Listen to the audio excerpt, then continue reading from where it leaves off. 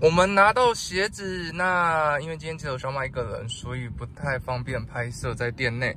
那我们看一下低筒的，那专柜的柜姐呢，又把我这一边撕到一半。那我今天有看比较仔细，就是这个部分他们有一个贴，就是售价的部分呢，他们把这个部分截掉一半，好像要做个记录，就是有确认售出这个动作。等一下回家给大家做开箱。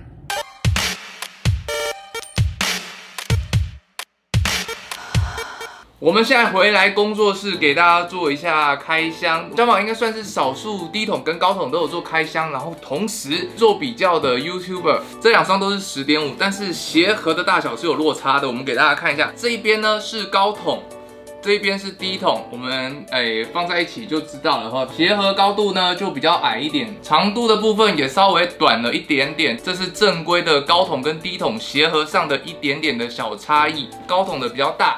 低筒的比较小，但是它本身用的材质是一模一样的。低筒我们打开来，它附赠的配件也都跟高筒一模一样。打开来，它里面就会有着防尘袋，这个我们之前在高筒的开箱都有介绍过，两组防尘袋 Air Dior，然后还有这个鞋垫，这个也是跟高筒一模一样，皮革的 Dior 老花鞋垫，会有一组白色的鞋带，然后。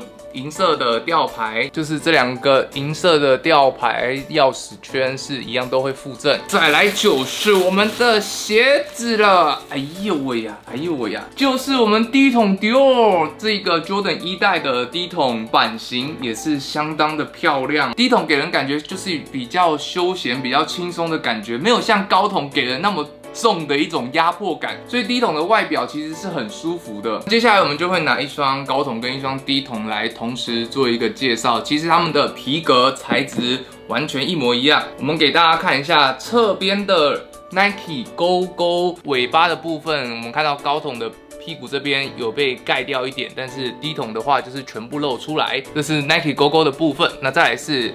后跟有一个 Air Dior 这个翅膀 logo，低筒跟高筒的一个差异点，翅膀 logo 的位置不同。高筒的话就是放在右边嘛，外侧；低筒就是放在它的后跟屁股的部分。鞋舌这边一样少不了 Dior Air 的这个标签，然后它还有这种提花的部分。那这个鞋带一样非常精致的金属铁质鞋带头，这个鞋衬塑胶鞋衬跟高筒一样，上面有一个 Jordan 的 logo 跳跳人。那这个流水号呢，一样是写着八千五，然后是第三千多双。高筒的部分，它的流水号是做一个。缝死的低筒只有缝上半部，所以它是这样子翘起来的。它只有缝上半部。低筒内侧的内标，我们给大家看，就是跟一般 Jordan 的内标 Nike 的鞋子是长一样的。那我们鞋垫一样可以拔起来给大家看，它上面就是原始的这种比较绒布这个鞋垫。那鞋垫内部呢，一样是做满满的镭射 Dior 的雕花。这个之前小马有说好像是木头，仔细摸一下材质，感觉上应该是皮革啦，选用了应该是比较硬的皮。所以摸起来是比较硬一点，小马有点口误。当时第一次摸的时候，觉得哎好硬哦，然后又是这种原色的感觉，所以当时就不小心讲错了。所以迪奥的低筒大致上呢就是这么一回事，只是它的型不同，但是材质上完全是一样的。那两双鞋子的价位，目前来讲，高筒在台湾大概是落在三十万到三十三万之间，是它的一个在售价。那它原价是八万。低筒的原价是七万台币，目前看下来，它的均价大概是落在二十万上下，比高筒再便宜个十万左右。那小马自己最爱的应该还是高筒，因为我觉得 Jordan 一代就是高筒，它的外形才是经典。